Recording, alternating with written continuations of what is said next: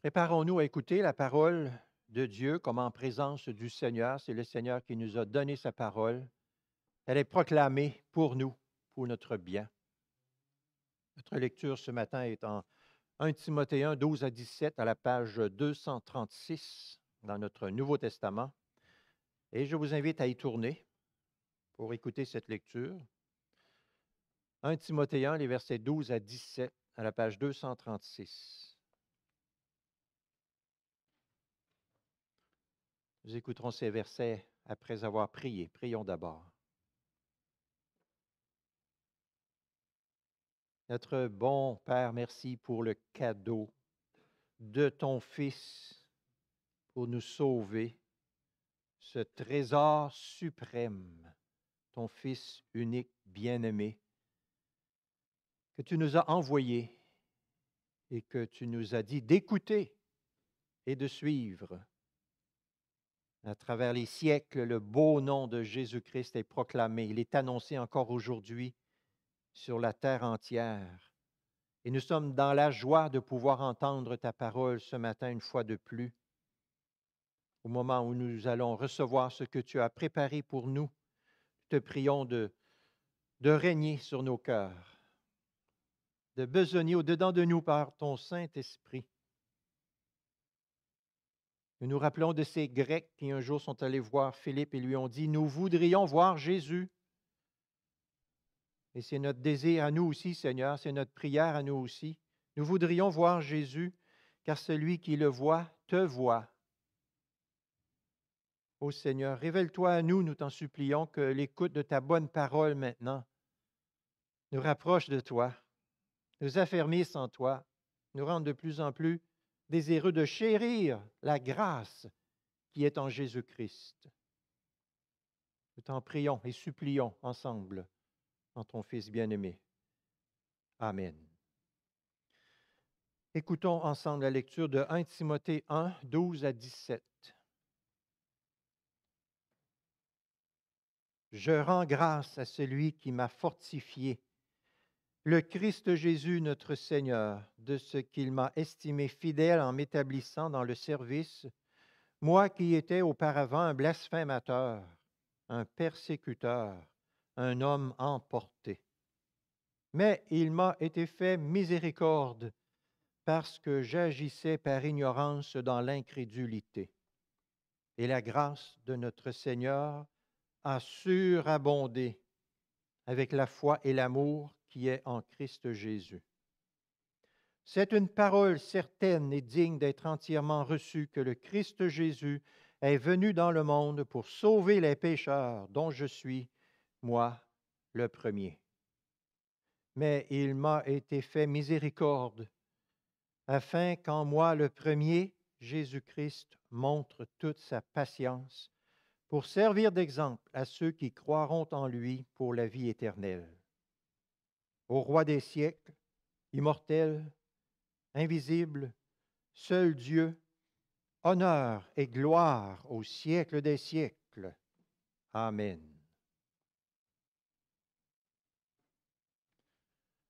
Vous en avez sans doute euh, rencontré, vous autres aussi, des personnes qui disent qu'il n'y a pas de pandémie, de coronavirus et que tout va bien.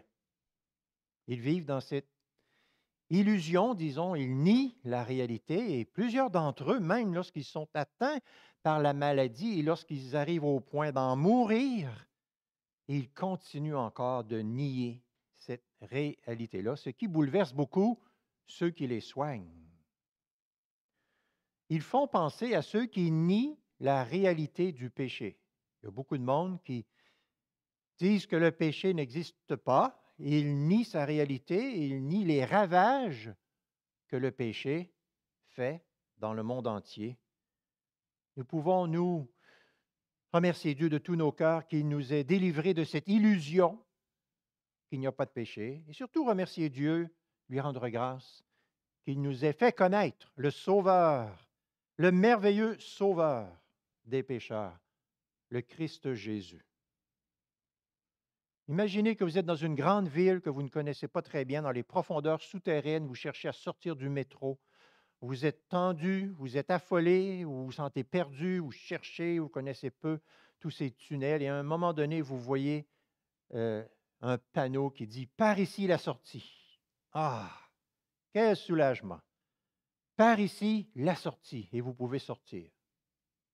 Nous, les pécheurs, nous sommes, nous étions, nous sommes parfois encore tendus par nos péchés, nous nous sentons perdus. Et Dieu nous montre son Fils, le Seigneur Jésus-Christ, et nous dit, par ici la sortie. C'est lui, votre secours. C'est lui, mon Fils bien-aimé, Jésus. Quelqu'un m'a demandé la semaine dernière comment est-ce qu'on pouvait résumer qu'est-ce que c'est Noël, quel est le but de Noël, et j'ai dirigé cette personne au verset 15 de notre texte de ce matin en 1 Timothée 1, verset que je relis. C'est une parole certaine et digne d'être entièrement reçue que le Christ Jésus est venu dans le monde pour sauver les pécheurs, dont je suis, moi, le premier. Si on ne parle pas du péché et du sauveur des pécheurs, on passe complètement à côté, on manque le bateau du vrai sens de Noël. Le réformateur Martin Luther dit, nous avons ici, dans ce verset 15, une petite Bible, l'Évangile, en un seul verset. L'essence de la bonne nouvelle est ici, dans ce verset. Un homme décrit son expérience du salut de la façon suivante. Mon âme était malade. Je recherchais ardemment la paix mais je ne la trouvais nulle part. J'ai acheté un Nouveau Testament. Je me mis à le lire et lors de ma première lecture, je tombais sur les paroles suivantes. C'est une parole certaine et digne d'être entièrement reçue que le Christ Jésus est venu dans le monde pour sauver les pécheurs dont je suis moi le premier. Parce que Dieu agissait en moi, cette seule phrase éclaira tellement mon esprit abattu que mes os même sautèrent de joie. C'était comme si, après une nuit longue et obscure, le jour s'était soudain levé. Mes os sautèrent de joie en entendant ce message si libérateur. Et quel merveilleux verset est devant nous ce matin. Notez bien comment il commence. C'est une parole certaine et digne d'être entièrement reçue. Là, avec ce verset-là, on n'est pas comme dans un l'à peu près, où on ne sait pas trop, c'est une hypothèse, une possibilité. Non, non, non. Nous sommes devant une vérité certaine, sûre, inébranlable, solide, à laquelle nous devons accorder toute notre confiance, une vérité que nous ne devons jamais remettre en doute. L'apôtre Paul utilise ces mots pour introduire cette certitude absolue de l'œuvre de Jésus-Christ, au-delà du contexte immédiat, on pourrait dire que c'est tout le message chrétien qui est digne de notre plus entière confiance. Le réformateur Jean Calvin dit, la préface de ce verset est comme une trompette qui sonne pour publier la louange de la grâce de Christ, afin que nous y ajoutions plus de foi. Qu'est-ce qui a poussé Paul à nous réveiller et nous rendre plus attentifs par ses paroles, sinon le fait que les hommes doutent tout le temps de leur salut? Chaque fois que quelques doute de la rémission des péchés nous viendra à la pensée, apprenons à repousser courageusement ce doute par ce bouclier, à savoir que c'est une vérité indubitable et digne d'être reçue sans aucun contredit. Quelle certitude nous pouvons avoir dans le message de la bonne nouvelle? Le plus récent numéro de l'actualité contient un article intitulé La fin des certitudes, avec un dessin de piliers qui s'effondrent. On parle des conséquences de la pandémie qui vient ébranler, tout ébranler les certitudes que nous avions. 1 Timothée 1,15 nous présente une certitude inébranlable qui ne va jamais s'écrouler, qui est une certitude éternelle. Laissons là ce matin cette certitude-là venir ensoleiller nos cœurs. Vous ne savez plus trop qui croire ou que croire dans ce monde. Voici une parole certaine et digne d'être entièrement reçue que le Christ Jésus est venu dans le monde pour sauver les pécheurs dont je suis moi le premier. Le Christ Jésus est venu dans le monde. C'est une allusion immanquable à la préexistence de Jésus-Christ. Jésus existait bien longtemps, bien avant de descendre sur la terre. Il était au commencement avec Dieu et il était Dieu, nous dit l'apôtre Jean. Vous et moi, nous avons commencé notre existence ici. Jésus a commencé la sienne, si on peut dire, avant de venir, bien avant de venir ici, puisqu'il est éternel. Il a habité parmi nous, dit Jean 1, 14. Il est venu dans le monde volontairement. Il est entré dans la sphère, disons, on pourrait dire, à laquelle il n'appartenait pas, la sphère du péché, où la misère et le trouble règnent.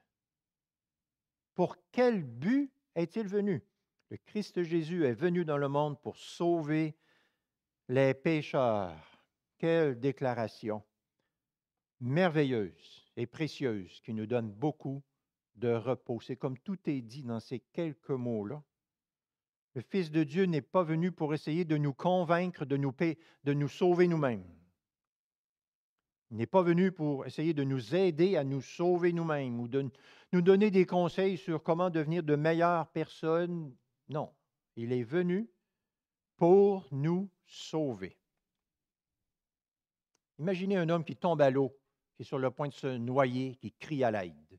Vous êtes sur le bord de l'eau.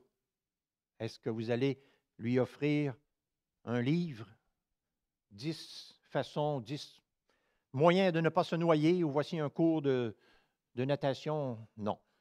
Est-ce que vous allez lui dire, regarde bien là, je vais te montrer comment on fait quand on est dans l'eau, qu'il faut sortir, suis mon exemple. Premièrement, ce que tu devrais faire, ça serait. Non, vous ne faites pas ça, mais vous pitchez à l'eau, comme on dit, vous vous empressez de le sortir parce qu'il n'y a pas besoin d'un cours, il n'y a pas besoin d'un livre, il y a besoin que quelqu'un se, saisisse de lui et l'amène sur la terre ferme.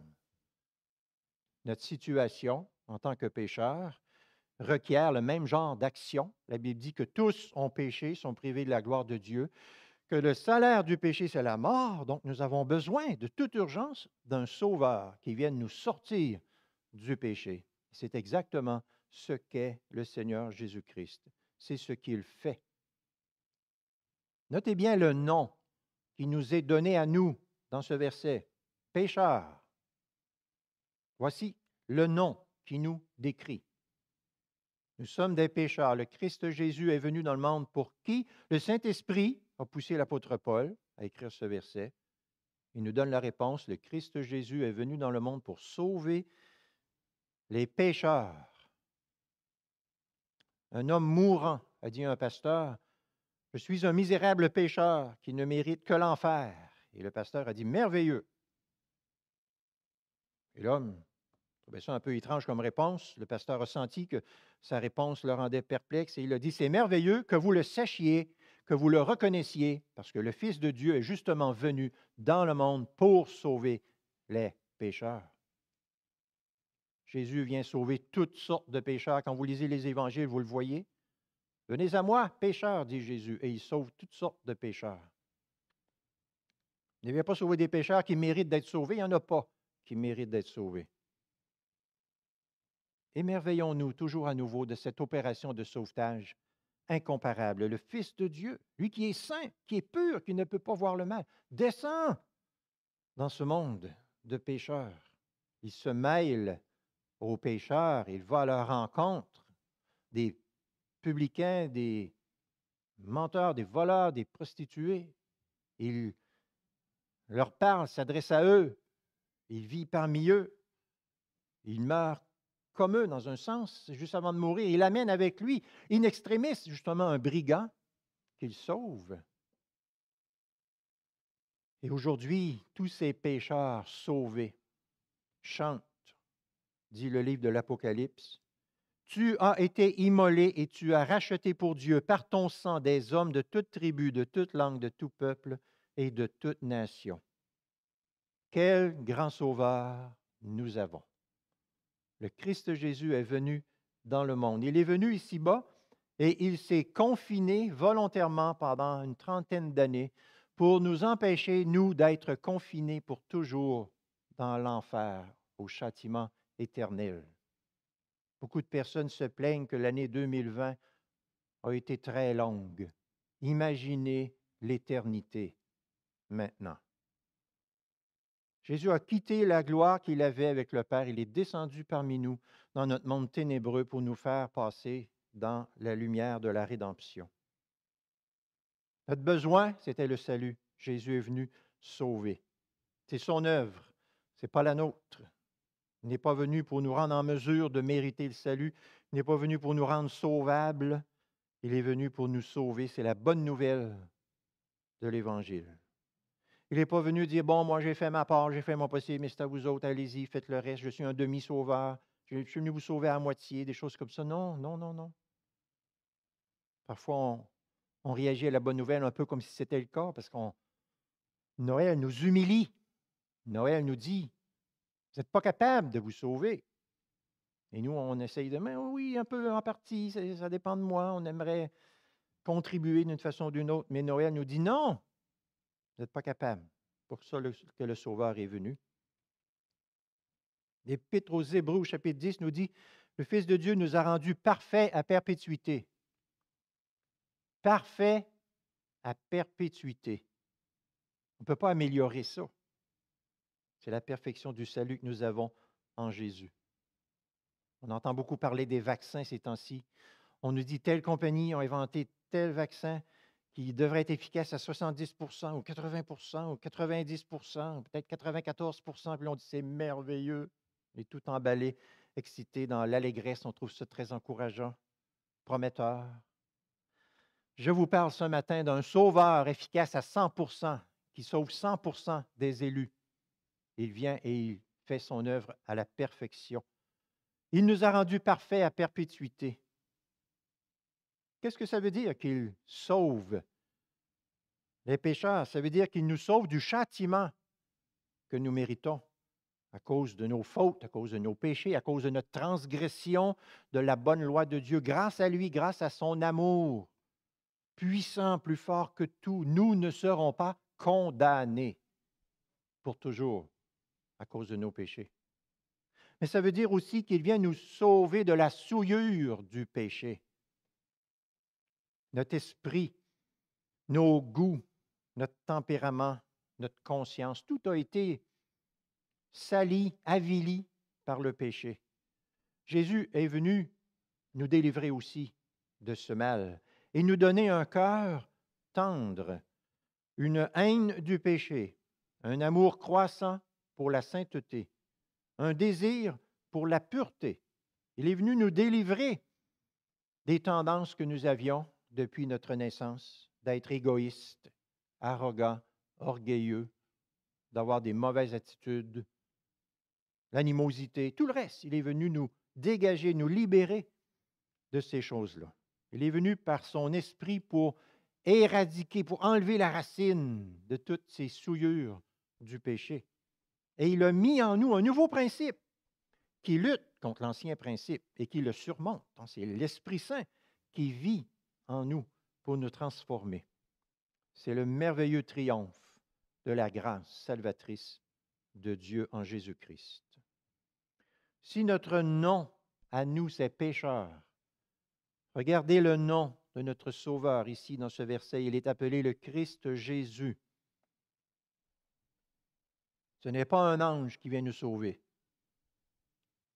Ce n'est pas le meilleur des hommes parmi les pécheurs qui vient nous sauver mais c'est le Christ Jésus. Le mot Christ veut dire oint, celui qui a été choisi et, disons, équipé par Dieu pour nous sortir du pétrin du péché. Celui que Dieu a choisi spécialement et qu'il a envoyé dans le monde, dans son décret éternel, pour, disons, faire la job du sauveur des pécheurs. Jésus ne vient pas sans avoir été oint par Dieu. Lorsqu'il vient, vous vous souvenez, dans la synagogue à Nazareth, il dit, L'Esprit de l'Éternel m'a oint pour sauver. C'est ce qu'il vient faire. Il n'est pas un espèce de sauveur amateur qui s'est lui-même nommé sauveur et qui vient à peu près pour faire des essais et des erreurs. Non, non, non. Il est le parfait sauveur, oint par l'Éternel Dieu pour nous sauver. Au moment de sa naissance, un ange dit à des bergers, Je vous annonce la bonne nouvelle d'une grande joie qui sera pour tout le peuple. Aujourd'hui, dans la ville de David, il vous est né un sauveur qui est le Christ, le Seigneur. L'ange ne dit pas, il vous né quelqu'un qui va vous dire comment vous pouvez vous sauver vous-même et gagner votre ciel et qui va vous donner quelques conseils pour réaliser votre auto-salut. Non, non, non, non, non. Il vous né un sauveur, c'est le Christ. C'est celui qui a été oint spécialement par Dieu pour vous délivrer. Son nom, c'est aussi Jésus, l'autre partie de son nom, Jésus. Ce qui veut dire sauveur. Jésus est le sauveur, oint par Dieu, il n'y en a pas d'autre, c'est le seul. Un ange est apparu à Joseph et a dit, Marie enfantera un fils et tu lui donneras le nom de Jésus, car c'est lui qui sauvera son peuple de ses péchés. Jésus veut dire sauveur, c'est lui qui sauvera. C'est lui. Lui, le créateur de toutes choses, va s'humilier et descendre dans une étape de Bethléem pour venir nous sauver. Il est descendu dans cette mangeoire, en mission d'amour. Il peut sympathiser avec nous parce qu'il est humain, il peut nous sauver parce qu'il est divin, et il descend. Il vient. C'est ce que nous célébrons à Noël. C'est notre bonheur, c'est notre joie d'avoir cette visite de ce Sauveur unique et merveilleux qui vient en mission d'amour pour nous. Minuit c'est l'heure solennelle où l'homme-Dieu descendit jusqu'à nous pour effacer la tâche originelle et de son Père arrêter le courroux Peuple, voici ton Rédempteur. Êtes-vous parmi les pécheurs qui sont sauvés par le Christ Jésus? Pourquoi ne le seriez-vous pas? Comment l'être? Nous ne le sommes pas tous automatiquement. Nous avons besoin de nous approprier, de recevoir, de tendre les mains pour recevoir et nous approprier ce magnifique salut que le Fils de Dieu nous apporte. Et notre façon de le recevoir commence par une reconnaissance de nos fautes. Oui, je sais, Seigneur, et je sens, Seigneur, que j'ai brisé ta loi de multiples reprises, de multiples manières. J'en pleure, j'en suis triste. ça commence comme ça. C'est le premier pas à poser pour recevoir le trésor du salut en Jésus-Christ. Et après cette confession qui nous humilie, il y a la confession qui dit je crois, Seigneur, ce que tu dis, que tu es le Sauveur qui est venu pour sauver. Et je crois que tu es venu me sauver. On croit, on reçoit avec confiance la parole de Dieu, les promesses de Dieu, et on goûte, on expérimente le salut merveilleux du Fils de Dieu. Quand vous vous êtes regardé dans le miroir ce matin, est-ce que vous avez dit, moi, je n'ai rien à me reprocher, je suis une très bonne personne, je n'ai jamais fait de tort à qui que ce soit, je ne suis pas un pécheur. Si vous vous êtes regardé dans le miroir et vous vous êtes dit ça, eh bien, vous êtes en route pour le châtiment éternel. Ou bien, quand vous vous êtes regardé dans le miroir ce matin, vous êtes-vous dit, personne d'autre que moi ne peut me sauver, c'est moi seul qui peux me sauver. Si vous vous êtes parlé comme ça, vous êtes en route, vous aussi, pour la perdition éternelle. Il faut recevoir le Christ Jésus dans l'humilité, l'humiliation, et la foi. Regardez bien comment se termine le verset 15. C'est une parole certaine et digne d'être entièrement reçue que le Christ Jésus est venu dans le monde pour sauver les pécheurs, dont je suis, moi, le premier. L'apôtre Paul n'était vraiment pas fier de lui-même. Il écrit au verset 13, Moi qui étais auparavant un blasphémateur, un persécuteur, un homme emporté. On se souvient qu'avant de devenir l'apôtre Paul, Paul cherchait de toutes ses forces à détruire l'Église. Il la ravageait, dit un autre texte. Il la persécutait. Il était l'ennemi numéro un de l'Église. Il avait voté en faveur de la lapidation d'Étienne, cet homme de Dieu rempli de l'Esprit qui faisait du bien? Paul se nomme le premier des pécheurs pour reconnaître,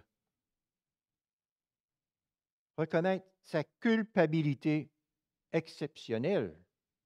Il était le pire pécheur, dans le sens que celui qui a blasphémé contre Dieu, qui a persécuté l'Église de Dieu à outrance, mais qui pourrait bien être pire pécheur que, ça?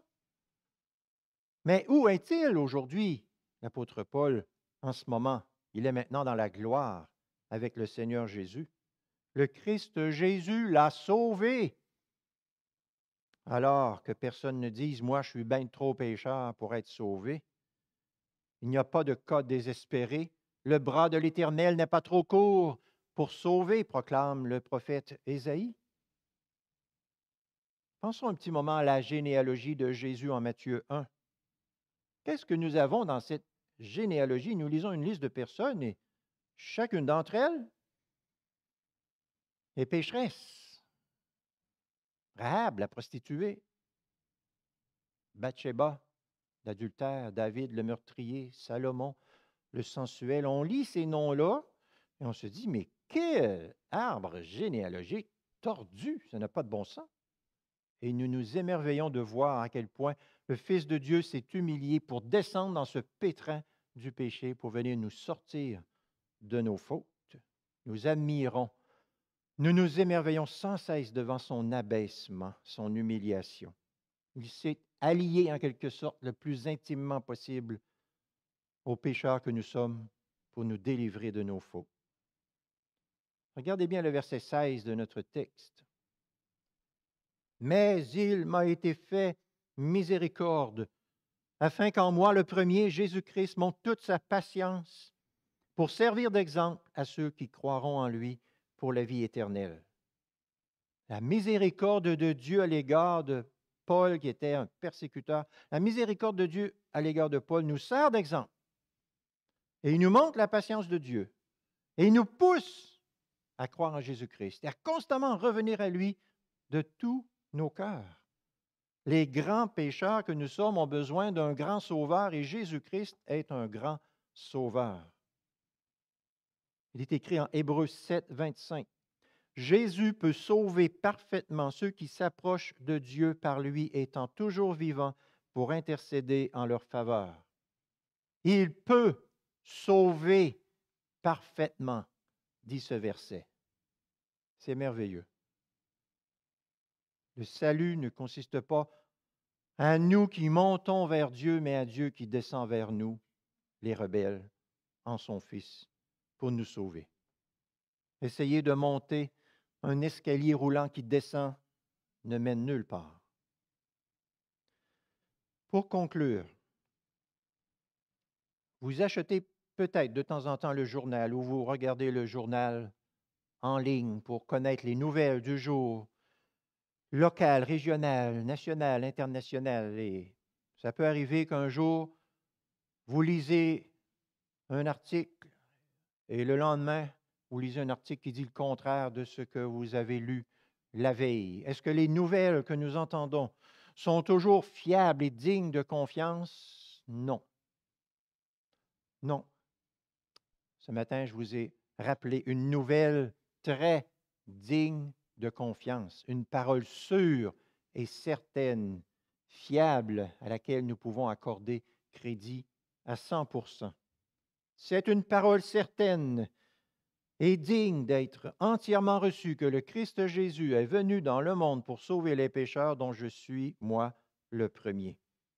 C'est la vérité la plus douce, la plus belle, la plus satisfaisante pour nos âmes, qui produit dans nos cœurs une vraie joie.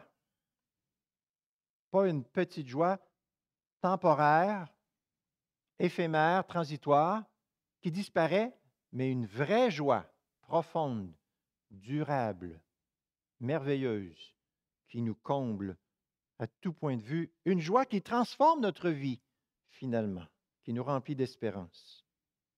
Par cette vérité, dans ce verset, Dieu prend notre âme aride et desséchée et il la transforme en source d'eau vive, qui fait de nous comme un beau jardin dans lequel croissent une multitude de belles fleurs et de bons fruits. Que fait la personne qui a reçu un tel cadeau? Qu'a à cœur de faire l'heureux, l'heureuse bénéficiaire de ce merveilleux salut en Jésus-Christ? La réponse est au verset 17. Ô roi des siècles, immortel, invisible, seul Dieu, honneur et gloire au siècle des siècles. Amen.